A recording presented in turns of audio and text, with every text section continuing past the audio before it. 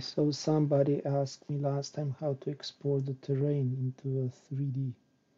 So it can be done into CAD file.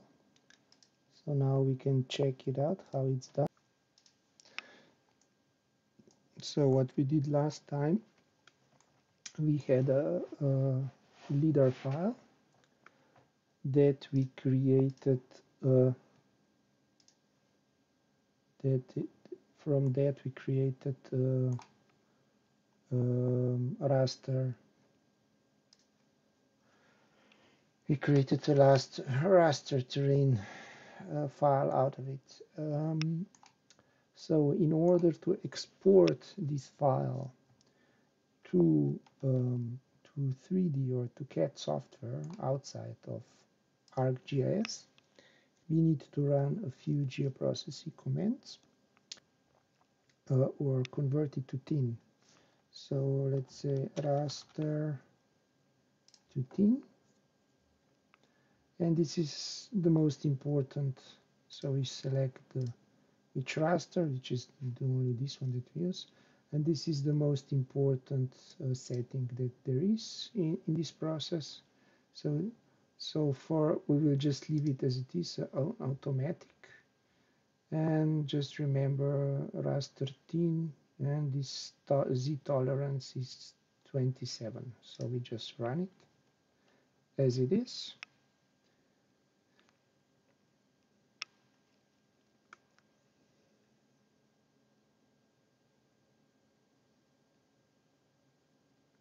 Okay the raster is created. Then you will run another one raster to tin so we will put the same raster in it and we will reduce this number to by 10 let's say 2 or 3 or 1 it depends how fine how much detail do you want into your uh, into your tin file. Okay so let's rename it just we don't that we don't forget so this one had a z tolerance of 27 or something. And this one had a z tolerance of 2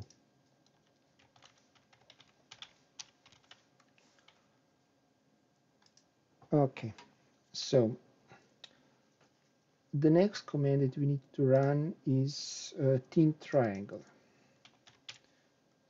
so okay, we got so if we switch this one off you will see there is no big difference between one tin and the other. So if I turn this this off it's not really yeah it's a little more detail but not by much. So this is automatic. So tin triangle.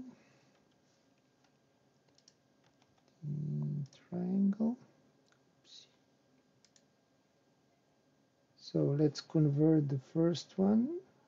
So input tin of 27 tolerance. We just leave it as it is and run it. Okay, and then the second one, again, tin triangle, and we will input the tin surface with the z tolerance of 2 and this one this will take a little more time to calculate. So now it uh, the, the program has showed us the the firsts. So we can also turn this one on because this is again this is a 3d 3d object. So this is a raster, well, a tin raster surface uh, z tolerance of 27 and uh, the one with the tolerance of 2 it's still calculated but, but it won't be too long.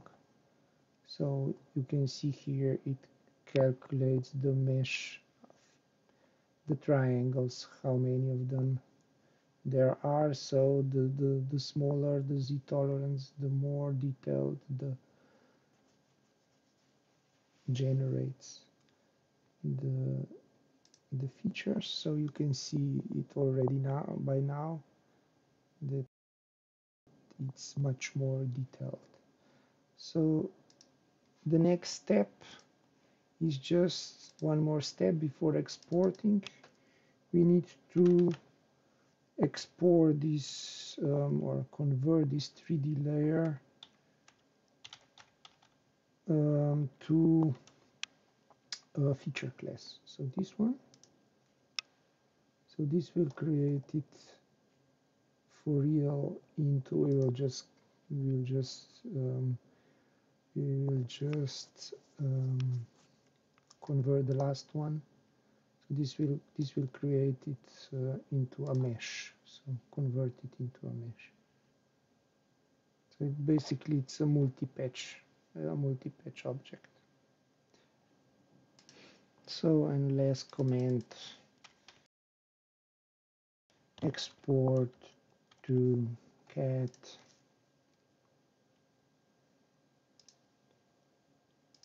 so this one I usually choose an earlier version so don't have any compatibility issues. And let's just put it onto a desktop. Let's say 2020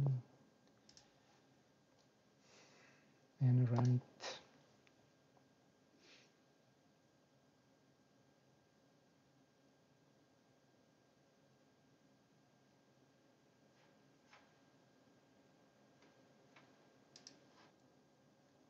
Uh, this is our file. So we can open uh, can open Rhino or whatever, AutoCAD or something.